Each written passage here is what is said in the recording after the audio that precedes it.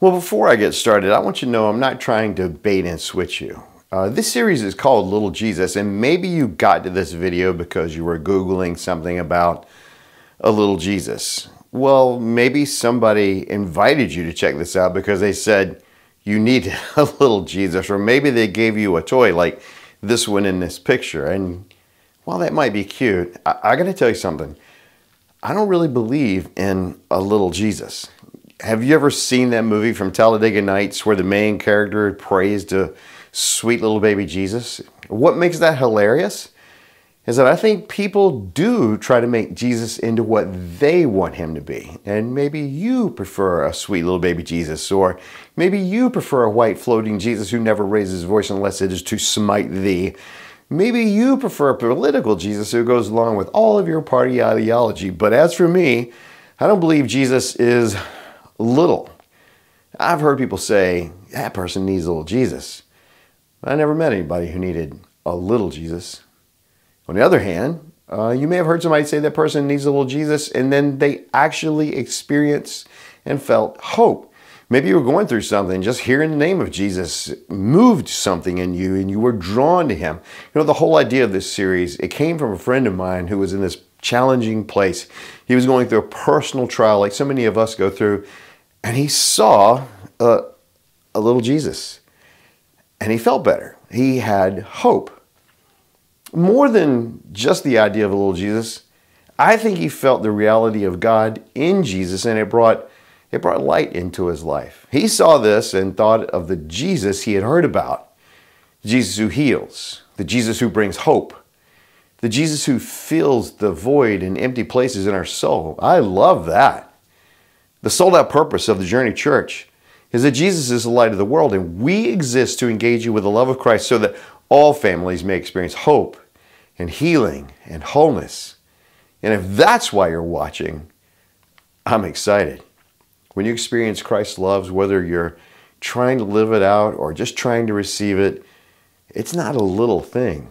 But in our culture, in our daily lives, we might be tempted to belittle Jesus. Not on purpose, but it happens. We try to make Jesus fit into our lives, our agenda, our plans. But listen, Jesus is not an additive to your schedule. He's not part of a recipe for a good life. He's not chicken soup for your soul. He's not a way to make more money. He's not affiliated with a political party. And when we try to make Jesus into something he is not, we belittle him. Listen, something you should know. He doesn't ask to be part of your life. Jesus has a much bigger ask for us. Jesus wants all of your life. He wants all of you to have all of Him. This was such a big deal, especially in the early church. When non Jewish people began to believe and follow Jesus in small communities in the first century, it came with great personal risk and at a great personal cost because the Roman culture promoted state worship as an integral part of the whole. So when Jesus communities first started, at first it was kind of okay, you could do your thing as long as it didn't interfere with Roman life. But when Jesus communities wouldn't allow Jesus to be equal to or part of the other gods or cults of Roman culture, uh, that was bad.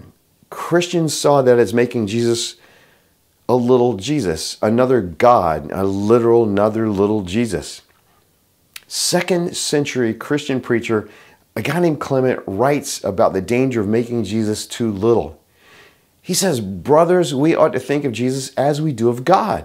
And we ought not to belittle our salvation, for when we belittle Him, we hope to get but little. And this stance, it made Romans hate Christians. They called them atheists because they refused to equate Jesus with other gods. Christians believed in and lived for the one God, the God who came to earth to live, die, rise, live, and reign with God, the Father, as one. There was no such thing as a little Jesus. It's all or nothing. So when you think about Jesus today, I hope you may consider the great cost that the first century and second century Christians had to pay to follow Jesus. They died for their faith. Some would rather be torn apart by wild animals or set on fire than belittle Jesus. Sure, a little Jesus probably will make a big difference in your life.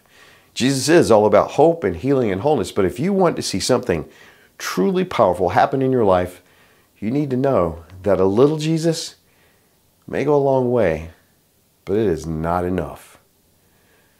I want to stop. I want to pray before I tell you the rest of this story, this message, and I want to ask you a question. So let's pray. Father, as we look into your word, let us see all of you. Help us to understand the deep, powerful love and great cost Jesus paid so that we might be restored to you. Help us not to belittle you, Lord, but instead to see you for all you are. Use our, our hearts and minds in such a way to see you in ways we never imagined. In Jesus' name. In Jesus' name, amen. So I want to ask you a question. Listen, have you ever heard somebody say that person needs a little Jesus? Has somebody ever told you that? What do you think about the idea of a little Jesus? I want you to pause the video, reflect on this question for a minute, and then when we come back, I want to share a powerful story where some people had an idea of who they thought Jesus was, but it was smaller. It was smaller than who he actually was.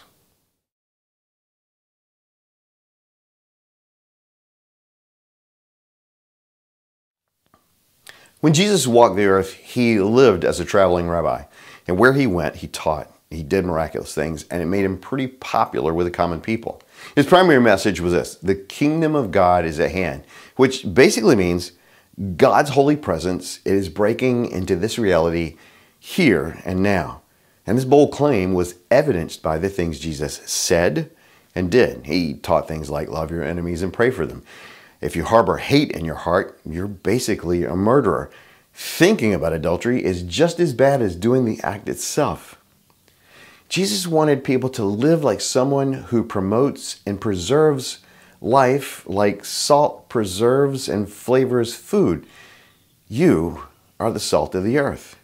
In Jesus' words and deeds, they brought hope to the hopeless, healing to the sick, and wholeness to the broken. Jesus would teach and empower his followers to, to be like him. One day, Jesus and his followers, they, they encountered this large crowd who desperately wanted to hear Jesus' words and receive his healing in their lives. They were hungry for hope and healing and wholeness. And Jesus had compassion for them. He felt empathy. He wanted to help. Listen, this is important. Jesus identified the need of the people. We're followers of Jesus. This is something for us to take. Jesus identified their need. And it was a lot of people. The gospel writers say there were like 5,000 men there, which doesn't count the women and children who were already with them. So a better number might be 15,000 people, which is huge people coming from all around to hear Jesus. And this isn't a big city they came to, it was sort of rural. And they had to know that when they made this trip, when they made this commitment, they might have to go hungry for a while. They might have to sleep outdoors. There weren't any motels or 7 Elevens or Kroger's. Jesus' disciples, they see this, they know this, and they don't really want the people to suffer either. And so they offer a solution to the problem. Here's what they say Send them away so they can go into the surrounding countryside and villages to buy themselves something to eat. Now, how would that sound today? Jesus, there's a lot of people here and they need food. And if they don't get it, we might have bigger problems. People passing out, people might start stealing, people might start wandering around hungry. And what would that takeaway be when they come to hear you and all they are is hungry? And it's funny to me, even when Jesus is present, we likely have no idea how powerful he is. Or when we think things are scarce, like food or lodging, is it possible that he's more than enough? Now, Jesus takes his follower, followers from a dilemma to a breakthrough to a blessing. Here's what he does he responds to them like this You give them something to eat, he responded. Which is fascinating, isn't it? Who is Jesus saying should feed the people? The disciples. And I think the disciples are taken off guard because listen to how they respond. They said to him, Should we go and buy 200 denarii worth of bread and give them something to eat?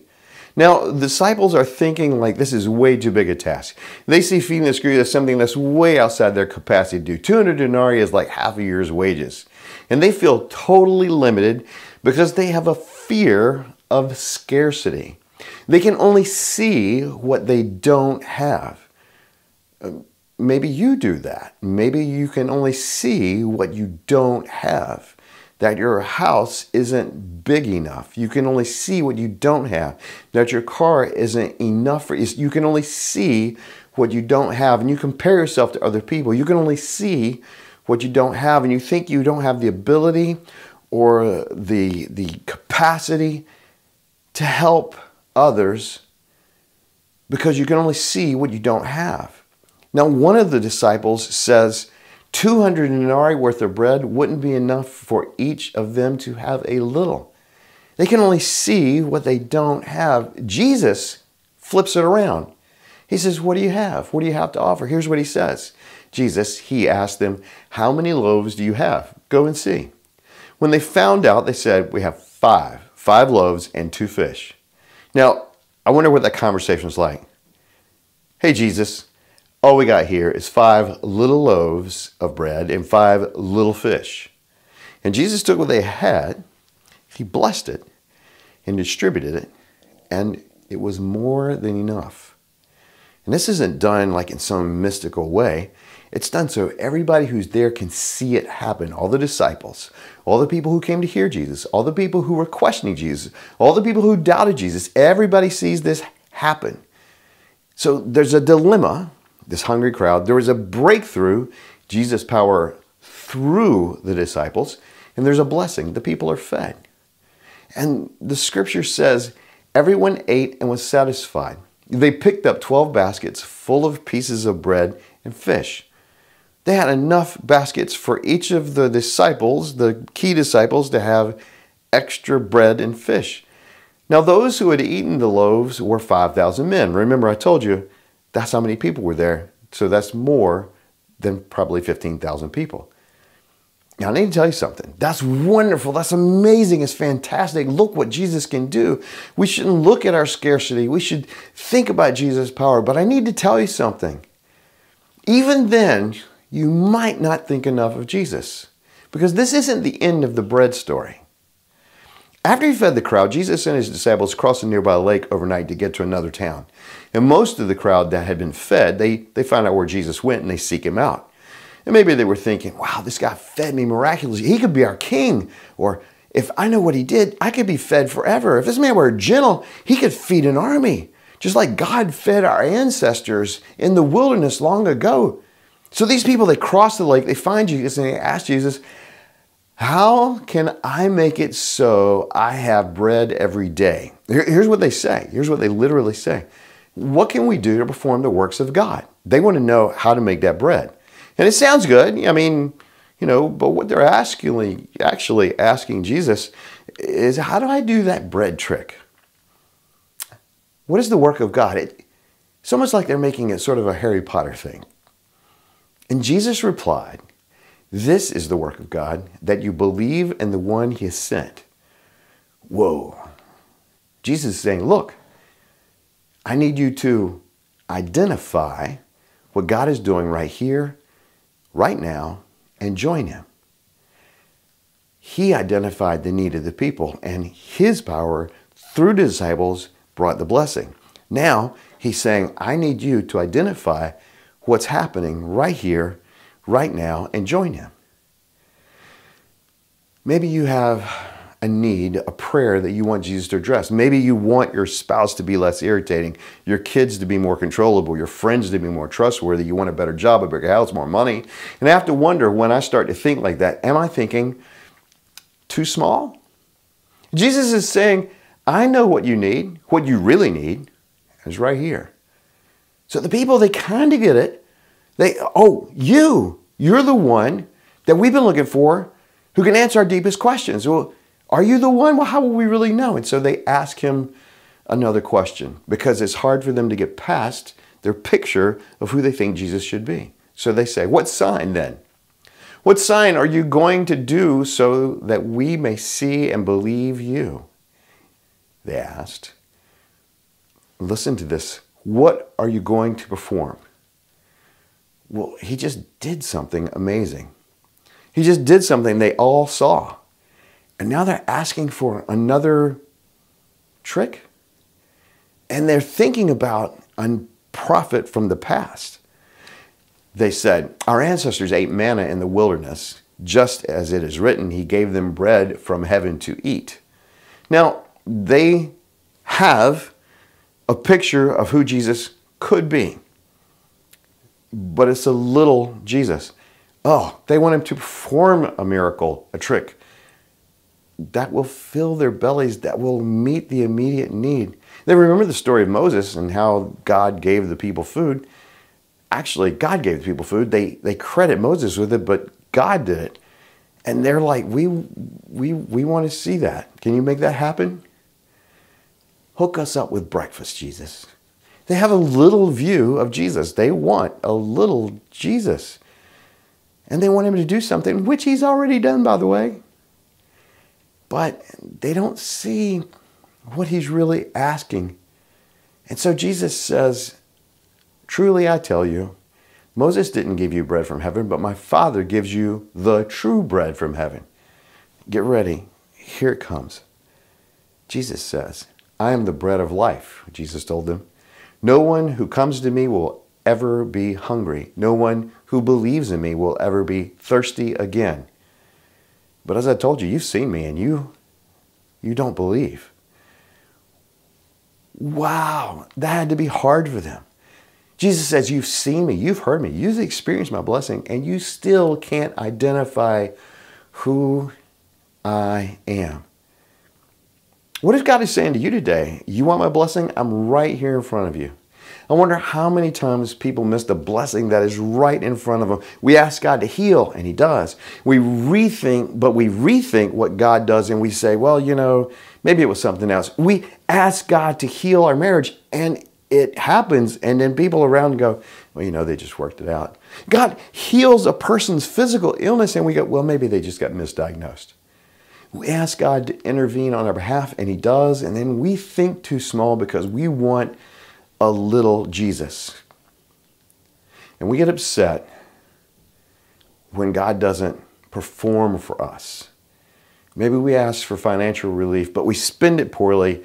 We lose what He gives. We ask God to help our relationships get better, but we don't try to mature and grow up ourselves. We ask and we don't get because we don't ask for the right things. And we do ask, we're asking for quick fixes that satiate our desires. And yet, I have to tell you, there are no small portions of Jesus. Jesus tells the people they cannot identify the one in front of them. They can't see the enormous good that's being done. They can't really, they can't really identify what they actually need. They can't see Jesus for who he is. So then, man, he drops this other bomb.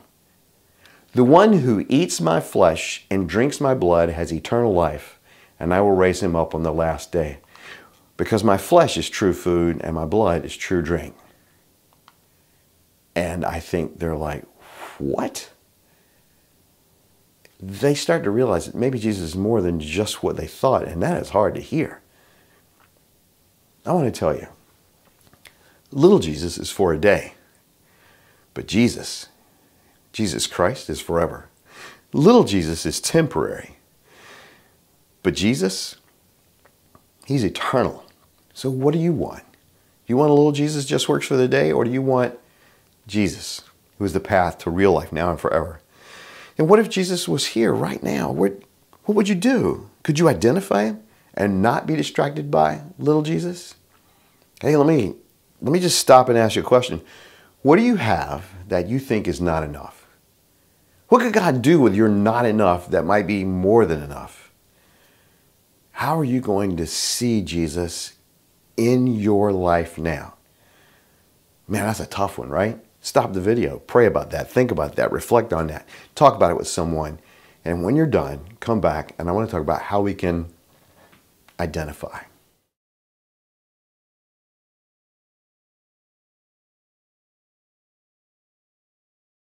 When I tell you that I want us to be able to identify Jesus, it's more than just seeing Jesus in my place. I, want you to get past the idea of little Jesus. I want you to understand that not only is he present, like you're watching this video now, he's present now, and He is calling you to a deeper presence in your community, in your life, to have an impact to the people around you. Identify. So here's three things I want you to do that I think you can identify both where God is and how He wants you to act in the world. And the first one is real simple like identify. You have to look. Look, where is God working? What is He doing? And when you see it, join Him. When we're praying, it draws us close to God. And a consistent part of our prayer life should be that we ask God to see as He sees with compassion and love. New Testament writer Paul says, and be kind and compassionate to one another, forgiving one another, just as God also forgave you in Christ. We should ask God to see what He wants us to see with His perspective, a perspective that is not limited by scarcity or our ability, but it is in the context of His power to work in and through us. Do you want to identify? Do you want to see God in your life and then working out? See where God is working and join Him. Look, where is God working and join Him. And the second thing is this I want you to listen. Listen, and I know this is going to freak you out a little bit. Listen for God's voice. Now, I'm not saying that you're going to hear God audibly. Uh, I don't know, though. I mean, you could. I just never heard of that. I mean, it could happen to people. I've heard people say it. But you can hear God in many other ways. I'm saying pay attention. God is speaking to you through His Word, through godly friends, through circumstances. Are you listening? Instead of seeking your own agenda and your own way, advocating your own views, maybe you should listen for God.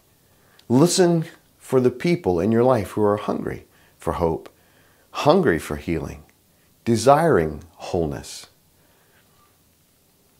I love the way James tells us to listen. James, the half brother of Jesus, says, My dear brothers and sisters, understand this. Everyone should be quick to listen, slow to speak, and slow to anger. He's, he's talking about not letting your emotions supercharge your decisions, but more than that, listening should be the way we are all the time. Listening for God and listening to people and listening for God as He works in us, through us, to people. We need to listen. So if we want to identify, we have to we have to look, we have to listen, and then and this is going to be wild. Remember, Jesus invited a sort of a come and see. Now notice that Jesus is the only one who makes an invitation after feeding the people. He invites them to eat his body and drink his blood.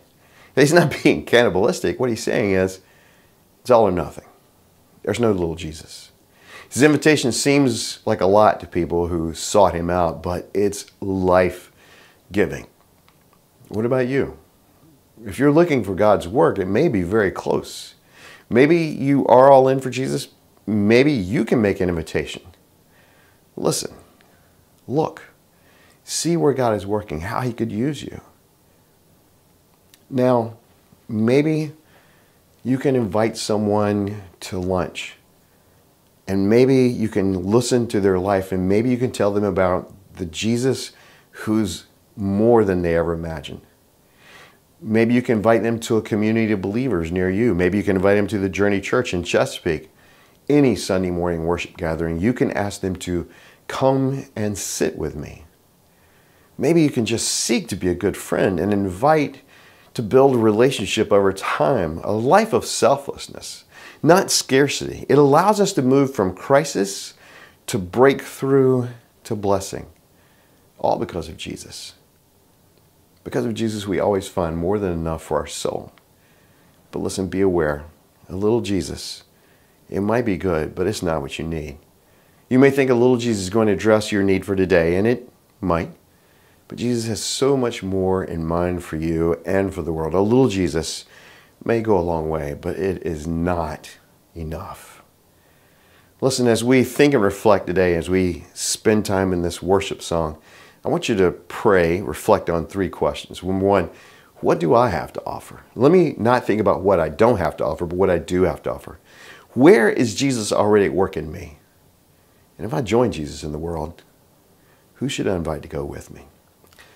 May you May you feel God's Spirit move in you to answer this invitational question, to grow the community of believers worldwide. I don't care where you're at. And the Journey Church is great, but I'm not asking for the Journey Church. I'm asking for Jesus' church. Think about how you can use what you have, see how Jesus is working in you already, join Jesus in the world, and invite people to go with you. With that in mind, let's worship together.